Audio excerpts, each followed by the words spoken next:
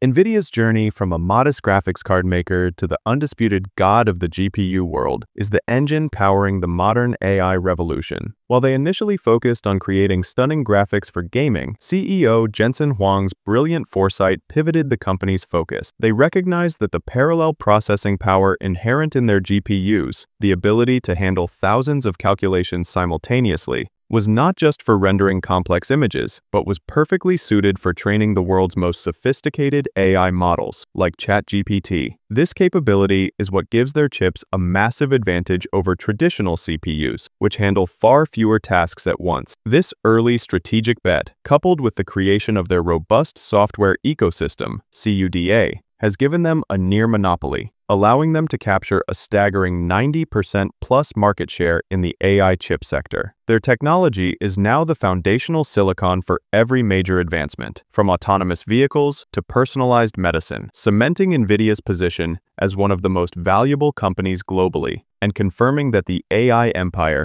is truly built on their chips.